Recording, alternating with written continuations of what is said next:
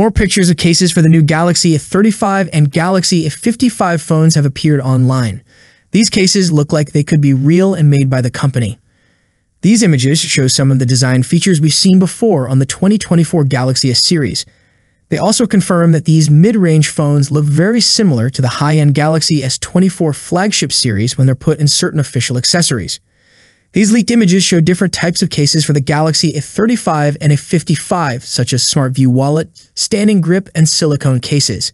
They come in various colors and finishes, including color, transparent, and semi-transparent options. It's worth mentioning that the standing grip case, which has a strap kickstand hybrid design at the back, might only be available for the Galaxy A55. It might not be an option for the Galaxy A35. From these renders, it's evident that the Galaxy A55 standing grip case bears a striking resemblance to the Galaxy S24 accessory of the same name. The main difference lies in the colors and color combinations, which are slightly varied.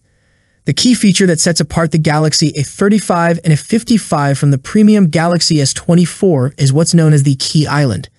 This refers to a part of the frame that sticks out around the side buttons. It's a distinctive design element found only on mid-range Galaxy A phones. Interestingly, the key island feature becomes less visible when the Galaxy A35 and A55 are enclosed in certain official cases, such as the Smart View wallet case, silicone case, or standing grip case. As a result, the phones start to resemble the Galaxy S24 more closely. When it comes to their design without cases, both the Galaxy A35 and Galaxy A55 feature Infinity O displays with slightly thicker bezels compared to flagship models. They also have flat back panels with separate circular cutouts for the rear-facing cameras and LED flash.